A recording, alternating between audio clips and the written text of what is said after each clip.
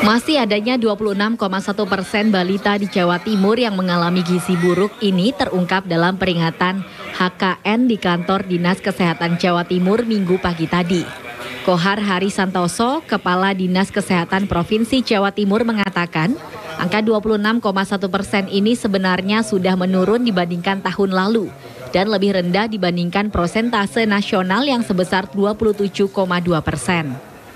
Saat ini dari data Dinkes Jatim, jumlah balita yang mengalami gizi buruk berada di enam kabupaten, yaitu Sampang, Bangkalan, Sumeneb, Probolinggo, Lamongan, dan Jember. Untuk menurunkan angka balita gizi buruk ini, Dinkes Jatim akan memberikan sosialisasi gizi kepada ibu hamil, serta pemberian gizi balita melalui posyandu. Kohar menambahkan, saat ini pihaknya tak hanya memfokuskan menurunkan jumlah balita gizi buruk, tapi juga kesehatan lainnya, seperti sanitasi, menurunkan jumlah penderita penyakit hipertensi, diabetes, dan kanker. Momentum Hari Kesehatan Nasional ini, Dinkes Jatim akan mengajak masyarakat untuk hidup sehat. Alhamdulillah Jawa Timur ini kalau dibandingkan dengan nasional kita sudah jauh lebih rendah. Akinya itu sekarang 91 per 100 ribu kelahiran hidup, sementara nasional malah naik dari 300.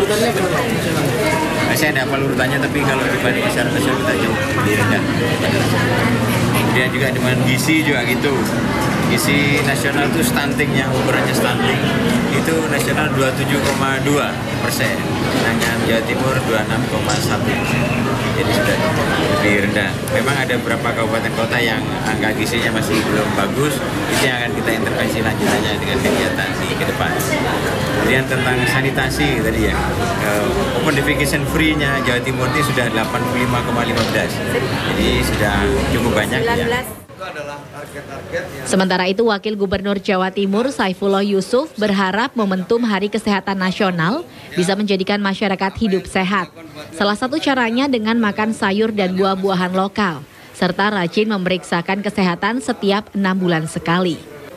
Tahun 2018 mendatang, Dinas Kesehatan Jawa Timur akan mengagendakan gerakan preventif dan promotif cukup luas dengan bergerak bersama eksekutif dan legislatif melakukan sosialisasi bersama. Dengan kekompakan ini, harapannya ke depan derajat kesehatan masyarakat Jawa Timur semakin meningkat. Fakur Rozi, JTV. Yang uh, sudah melakukan bersama-sama kita.